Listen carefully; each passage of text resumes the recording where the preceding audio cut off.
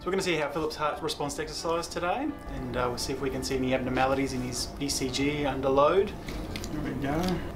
Look at that. Wide up. You ready to go? Yes, so Starting now.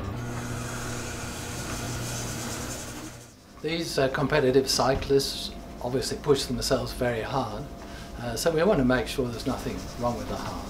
So the main things we're looking for are any signs of narrowed arteries to the heart, uh, and also any change in the rhythm of the heart. The treadmill is going faster every three minutes, and the slope of the treadmill is going faster every three minutes as well.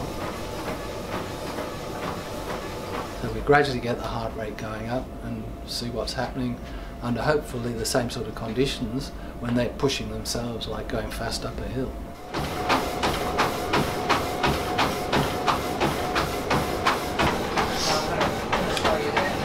Sure?